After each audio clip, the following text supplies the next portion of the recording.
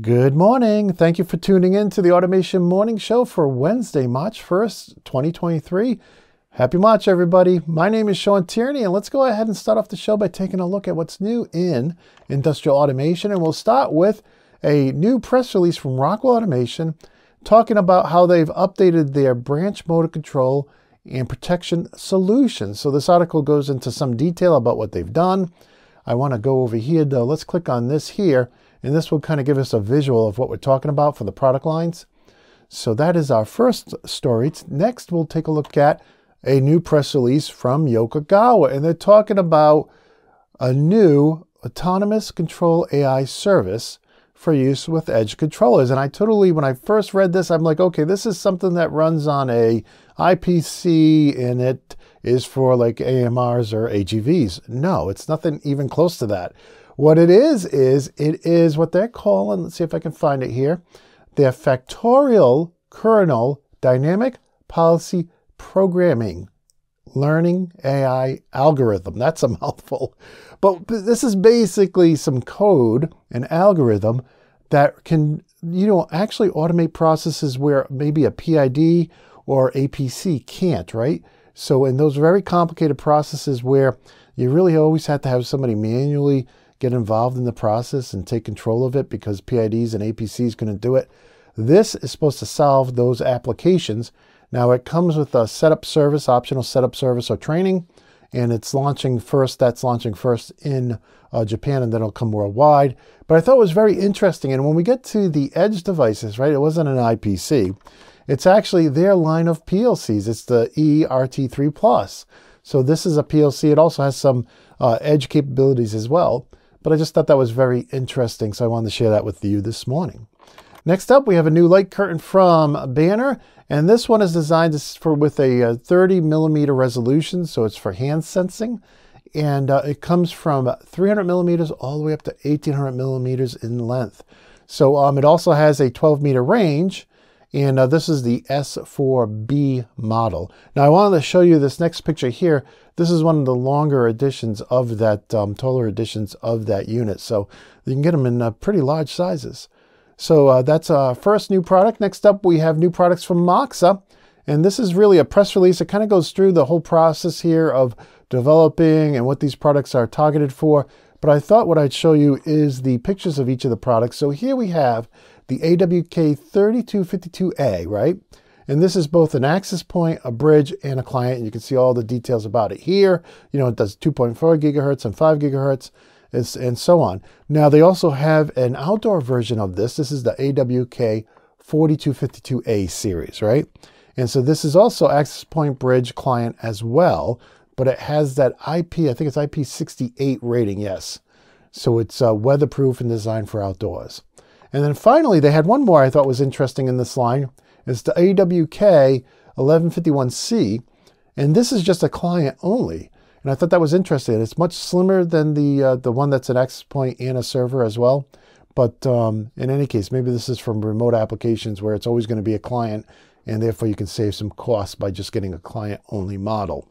In any case, I wanted to share those new products with you. Now, from there, I want to go over to a new application story. Now, I don't share every one of these that come across the web, but um, this one I thought was exceptionally well. Not only did I enjoy the article itself, but there were some great videos in here too, and I really love seeing the processes. Now, in this particular application, um, they're taking old railroad ties, you know, the steel ties, and they actually heat them up in their furnace and then they slice them into three parts. They slice off the top and the bottom, and so that ends up giving them three different pieces. And they make products out of those pieces. One of the products they make are those kind of corrugated uh, steel uh, posts you see that they use for street signs and stop signs and whatnot. So I thought it was really interesting, but I truly love the tour they show as they uh, do a voiceover on what they did. I love seeing pictures right from the facility itself as they're heating up the steel and slicing it up and seeing the steel come out of the furnace. I thought that was very interesting. So I definitely wanted to not only share this article with you, but also share the videos that uh, come. Both of them are good. The interview is good, and then the uh, the promo video we're watching right now, both were really excellent. So I wanted to share that with you. We also have another press release. This one is from B&R, and it's about their SuperTrack product and how it was used in an application you can see right here to uh, allow the manufacturer to produce products faster and in smaller batches with less, um, you know, turnover time, less uh, setup time. And, um, you know, we've covered the SuperTrack before. They have some great videos and applications up on their website. But I thought this was interesting because they, you know, they were doing two things at the same time, trying to reduce the uh, floor space that the system took up, but also be able to run efficiently and effectively run smaller batches of their products. So I thought that was very interesting. And next, we have a new product announcement from Inductive. Uh, it's their Ignition Cloud product. Now, this actually was uh, posted over at automation.world, but it's uh, from Inductive, and it really goes into how their new cloud product is not going to be software as a service. It's actually going to be more of a pay as you go application. So you will be able to, um, and I think this is for applications. This is one uh, one example they give in the article where maybe you have multiple plants that have ignition in them, and you want to kind of have a central, maybe your central engineering and you want to have like a central uh, SCADA package that kind of has a view into all your different plants. And so that's really one of the designs for this. And because it's pay as you go, you don't have to worry about a capex to buy a brand new server and a brand new license of uh, of ignition. You can just do this through AWS and um, and pay as you go. So I thought it was a very interesting approach. I look forward to talking to the folks over at Inductive again. Of course, we've had them on the podcast previously, and I look forward to talking to them again about all the new releases and products they've come out with. And from there, we go over to our product spotlight of the day. And today I'm highlighting my CompactLogix programming course, Compact Basics. Uh, this is a level one and two edition. Now, this course is still uh, discounted because I need to add some additional lessons to it to bring it to parity with my uh, ControlLogix course, and then it will be going up the full price. But in any case, when you purchase this course, you get lifetime access and lifetime support. So you can ask questions. You know, you may take the course, you may not use CompactLogix for a couple years, then you may get a new project and you may want to uh, go through the course again. We totally support that. And you may have new questions the second time around. So I check the site every workday for questions. I try to answer every single one that comes in. And um, the other thing too is if you pick up this edition, you will get the next edition, the 2023 edition, which I'm going to start filming this summer, completely free. So check it out if you're interested. If you have anybody, we also do group enrollment. So if you have three or four or five people, we also offer discounts and group enrollment to uh, companies who have multiple people they got to bring in. And the other thing I should mention too is if you start off with just uh, compact basics, maybe you get the level one and then you want to go to one and two you can upgrade for the difference in price. As a matter of fact, you can upgrade from any course uh, from the lower level to the higher level to any of the bundles. So we definitely want to protect your investment when you purchase a course or a bundle. You can always upgrade to the next one. And that even goes for groups. We've done group enrollment bundles where they started the group with like PLC Basics and PanelView Plus course, and then they wanted to upgrade to ControlLogix and ViewSE. We do that for all our customers. So with that, the next up here this morning is the digital newsstand, and we had two newsletters show up today. The first I'll talk about is from Posital, and uh, right here at the top of their newsletter, they're featuring their next gen encoders. And I thought these were really interesting because these actually have a reduced power requirement, which is important if you have a lot of encoders, right, on the same line. If you can reduce the power requirements, that's big, right? And uh, the other thing I thought was interesting too is that these don't use the Hall effect sensors anymore. They're actually using something called a TMR or tunnel magnetoresistance sensing technology. And so I thought that was very interesting too because it gives them more accuracy, less power draw, and so on. So if you're interested in that, check that out. And then down here, they're also talking about how they have a 3D drawing viewer on their website. We kind of looked at uh, one of these recently on the Festo website. And so now they have one here over at Posital. And over here, they talk about the miniature kit encoders for the Maxon micromotors. Now these always kind of stand out to me because I've always wanted to build like a mini factory to use in my courses. And I, I know companies have them out there, but they're like $10,000, right? Like who's going to spend $10,000 to learn at home to build a miniature factory? So I will always keep my eyes out for little miniature motors and things like that. And I just thought that was cool. Um, but I also wanted to come down here and, and show you this video here. Um, they make these accelerometers and tilt sensors that are uh, you know, IP69 outdoor rated. And in the video, they're showing how they can be used on excavators. So it's not every day we combine uh, construction equipment with automation, but I thought this was really cool. And you can see the video here, how they put the uh, tilt and accelerometer uh, sensors on the, uh, the actual uh, excavator itself. So, uh, with that, let's go on to our next story. And this is a newsletter from Automation Direct, Volume 2 for this year is up. And you can see they're uh, talking about material handling. They're also promoting a free pneumatics ebook. And um, I think that's very cool. I actually went in there and they actually have a free ebook also on sensors, which is really good. So you may want to grab that and give that to any new people you have working uh, for you. Um, they also cover some of the uh, WEG washdown duty uh, ACVFDs. They uh, also have a, a, bounty for application stories. So if you want to detail your application using their products, you can get up to $1,000 for doing that. And uh, they cover some more products here. You can see them on the screen if you're watching. But the last thing I wanted to talk about here was uh, how they're featuring the new Click Plus. Um, it's a finalist for uh, an innovation award. And I just wanted to state that we have uh, made contact with the folks at Automation Direct, and we're hoping to have them on the Automation Podcast and show very soon uh, to go over the PLC lines, at least some of the PLC lines they have. So I did want to throw that out there.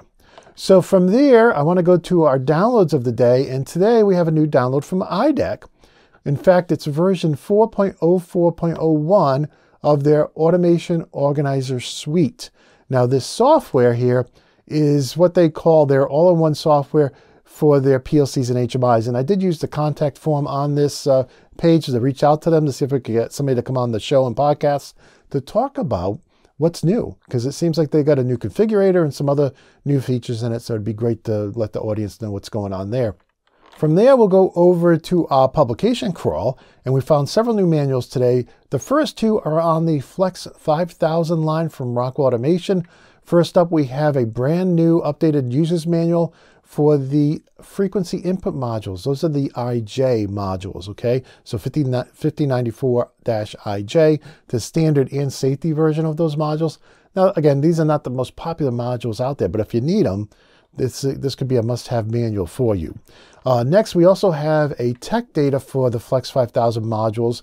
Now, a lot of times these tech data just have specifications in them, but this one's a little different. It actually has the wiring diagrams in them, which of course are crucial if you're going to wire up some of these modules. We actually don't have any here.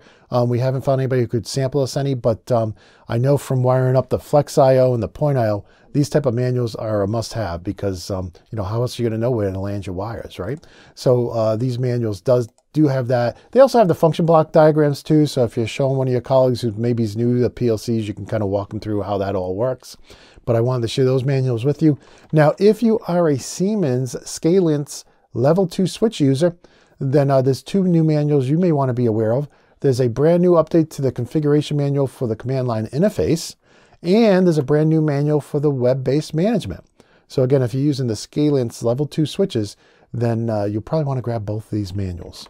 From there, we also have upgrade kit instructions for the Rosemount Ultrasonic 3810 series. So if you're going to be doing this, uh, going through the upgrade process, you'll definitely want to have this book. It really goes into the details of the process and the kit. And uh, it's brand new, so we wanted to share it with you today. And now I want to go over to events. Now, today I'm highlighting uh, just a bunch of events coming up from Endress Hauser. You know, they're one of the premier names in industrial automation. And they just have a ton of events coming on networking that uh, are all free. These are free online webinars. I think they're roughly 45 minutes each. Um, so we have uh, here you can see Tech Booster for Ethernet IP. They have a Tech Booster for IO Link. They have a Tech Booster for Profinet for Ethernet APL.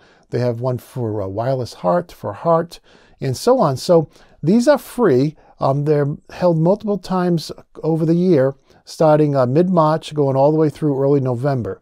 So if you have somebody new working at your facility or you just want to brush up on some of these technologies, um, check these out. Course, this link to this page and all the links we talked about today are at automate.news. And um, I just thought that was interesting. I want to share that with you, and I want to commend uh, Endress Hauser for uh, for putting these on. That's really great. That's a great service for the community.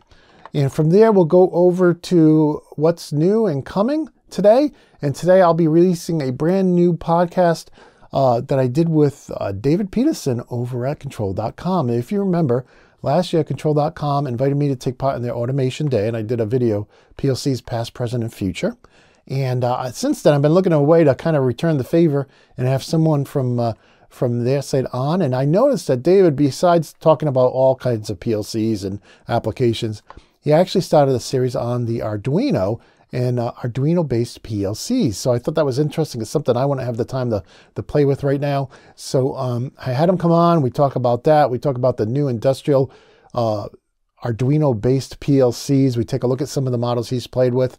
And then we actually kind of get into a discussion about soft uh, controllers running on IPCs, kind of like the Beckhoff PLCs we looked at uh, previously that are really IPCs running the Beckhoff uh, PLC code. So I thought it was very interesting. I really appreciate David coming on the show. That will release today around 3.30 p.m. Eastern Time. And so you'll find it up here. I also wanted to say that I want to reach out to Rockwell and get somebody from them on about their brand new, you know, the first story we talked about today, their motor control branch circuit protection, because I finally got my first sample from Rockwell Automation, and uh, I have it back here. Let's see if I can bring it up. And this is um, a sample they sent me over, and um, it's uh, on those products. So we can see here, I'll just yank one out. So, you know, motor protection, right? So, um, as you can see behind me, my forte, what I'm spend most of my time on, what I spend most of my years of working on are PLCs, HMIs, um, MES, SCADA, and all that kind of stuff, right? VFD sensors. But um, these are very important parts that need to be in every control panel, right? Well, most control panels where you're going to have motors. So um, I got to reach out to them today see if I can't get them to come on the automation podcast and show to talk to us about this new line, what they changed, what's new and exciting about it. And you know what? It may not be a 5580, it may not be a PanelView Plus 7 Series B or a Flex 5000 rack of I/O, but it's something, right? So I wanted to celebrate getting my first sample with uh, from uh, Rockwell with you this morning on the show, and um, you know I just want to thank all our vendors. I mean, if you look at behind me, everything you see behind me, um, well, everything from Siemens and IFM and Automation Direct, Moxa, uh, Wago, and uh, I don't want to forget anybody out. Um, SMC. Um, gee whiz, see, now I got myself, painted myself into a corner. Phoenix Contact, Wago, RTA, um, IFM, you know, all of that stuff, Mitsubishi, all that stuff was sampled to us. And so um, there is some stuff I had to purchase myself for uh, for the classes like this L1 and the uh, the 5380 because I teach those classes. But um, all the other stuff you see up there, right, was all sampled to us. And I just want to just take a moment to say how thankful I am that, to all our vendors who have sponsored, you know, first looks on their products or sponsored, uh, uh you know, episodes of the Automation Show, who sponsored actually courses. Siemens actually sponsored a whole course on their S7, which, you know, I get to learn so much about that product line from them. And uh, it's just been really a lot of fun learning to use that product. So I just want to take, just take a moment, kind of, this is a little sidebar, I apologize, but I do want to thank all the vendors who sponsor us. And, you know, we're always looking for new sponsors so we can bring you more free news and product how-tos. So with that, let me put this guy off to one side here, see if I can not break anything. and um, let's see what's next on the show today here. And now we'll go on to our question and answer section. And I found a new question that came in on one of the forums I follow where a user said, hey, I got a CompactLogix. It's installed remotely overseas. We have no remote access. How am I supposed to send them a new program? With Siemens, I can just use TIA Portal and make a new load memory card and send it to them. I actually cover that in my course, and I also cover when you can use just a standard card and when you have to use the Siemens uh, card. And uh, we go through the whole process of creating load memory and whatnot. And uh, it's a great feature that Siemens has with their product. So it's like, well, what am I supposed to do with CompactLogix? I don't think I can do that with Studio 5000. And it's true, you can't. Um, at least last time I checked, right? So um, you know, first I said, look, we've got to set the stage here. Going back over 30 years, you've never been able to do this. Not since, not, now you can check me on this, but not since they sold, Rockwell sold double E prom and UV prom burners, have you been able to program from your PC a program on a chip, non-volatile memory chip, and put it in your PLC. Ever since, I mean, I know for sure that there's no way to take the memory card out of the PLC 5 and create create a um, a, uh, put a new program on it using 6200 AI or RSLogix 5.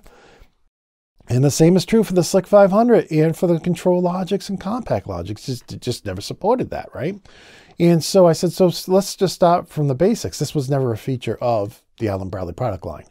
Um, the second thing I said is, you know, if you have the same PLC, like if you're an OEM, you're making lots of machines with the same PLC, then you can just make the card using that PLC and send them the card like you would with Siemens.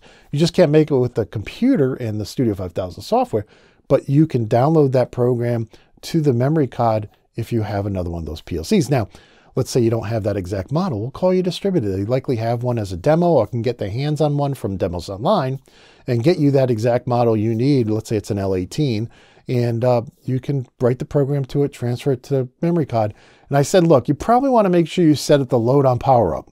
Now, there are ways to get it to load just when the memory is corrupt, and you can reset memory you know, through a series of buttons or switches or, or different moves that you make, depending on which model of CompactLogix you have. But with some of these models, it's very difficult because if the unit boots up and it doesn't find the memory card and the, the memory's been reset, it loads a default program. So um, it's very tricky. I cover this in my CompactLogix course. I cover it on the automation blog. But anyways, I said, let's just take the easy route. Just make sure you set the card to load on power up and um, that way it'll overwrite whatever's in the memory now with the program you send. And um, I said, look, make sure you truly understand this. Go in the manual, dig it out because it gets kind of complicated. Especially, he didn't share what model he was using, so of course you can't give him the exact steps because you, you know there's so many different models of CompactLogix. So in any case, I says, you know, another option besides that is, um, you know, if you just send him the software, it'll run his computer without a license for seven days. It's called Grace Mode, and um, you know, if you have somebody there who's technical and has Windows 10, that that might be a good option too. Then you can just email them the file, and uh, you know he has seven days to download the new program, or you know he can contact Rockwell directly for a 30-day temporary activation. Um, but I, you know, I'm kind of thinking that since he didn't have remote access, that he may not have somebody there with the you know knowledgeable enough that would have a computer that he could walk through this process. But in any case, so that's the answer. That's the way it is. Uh, we would love, I think everybody who uses Rockwell Automation PLCs and PACs would love them to add the feature like the Siemens has, where you can make the card uh, from your uh, from your software. I think that would be awesome. Even if they released it as a separate free little utility, that would be that would be phenomenal, right? But in any case, I mean, we can kind of do that, right? With the PanelView Plus, that was always a great thing about the PanelView Plus, right? But it's not something they do. And if you really look, and I kind of go through this again in my course, the memory of the S7 is really different than the CompactLogix. I mean, the load memory on the S7 1500, that's on the card. There's no load memory. There's no program stored inside of your S7 1500. It's on that card. So it's a pretty interesting and different way of uh, doing it. And, um, you know, if you want to learn more about the S7, check out my course over at theautomationschool.com. So with that little plug there, um, that's our question of the day. And with that, I want to go over to our community corner. And if today is your birthday, I want to wish you a very happy birthday. And if you were born on February 29th in a leap year, then I also want to wish you a happy birthday because there is no February 29th this year. So in any case, uh, I want to wish you all a very happy birthday. Hope you have a great day. Now, if you are connected with me on LinkedIn, which I invite everybody to do, and you have your birthday in your um, profile, then you show up on my uh, connections birthday list. And I want to wish you all a very personal happy birthday, including uh, Nabil, Ricardo, uh, Arshad, and Patrick. That's all we have for today. So happy birthday to you all. I hope you all have a great birthday. From there, I want to take you over to our community website, automation.locals.com. Uh, this is where you can follow everything we do here at Insights in Automation completely free. And if you want to join up and ask questions, answer questions, and send me direct messages, you can do so starting at the price of one cup of coffee a month. And uh, we had a new uh, supporter sign up last night. Thank you very much. And thank you to all our supporters and followers over there at automation.locals.com. And with that, I just want to remind you that if you see a news article or some news in industrial automation that you think I missed, please feel free to send it in using this form here at the Automation blog. And if you are a vendor and you want to sponsor the show so we can bring our audience more free news and product how-tos, then please feel free to use this form here at the Automation blog to get in contact with us. I mean, this is what keeps us going. This is what keeps the lights on and allows us to spend several hours every day preparing and bringing this show to the audience. So uh, we'd love to get some more uh, sponsors. And I want to address why we don't have a sponsor for today's show. Now, um, we, we have a sponsor all lined up to do a four week sponsorship. We're going to do the month of March, but they've fallen behind. They're really busy. They got a trade show coming up, so they've been a little behind in creating the ads and creating the form for the giveaways we're going to be doing. So, in any case, I reached out to them last night and said, Hey guys, why don't we just push it out two weeks? And uh, they said, yeah, that sounds like a good idea. So we will have a sponsorship coming up from a major vendor in industrial automation, and uh, we'll be doing giveaways. We'll, you'll be seeing their ads on uh, automate.news and so on.